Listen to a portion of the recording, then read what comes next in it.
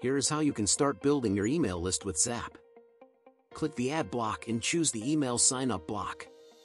Now give a title and description which will appear on our Zaap page.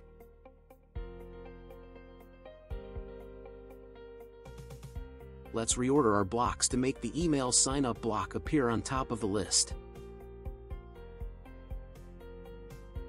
So here is our email submission block, let's test it.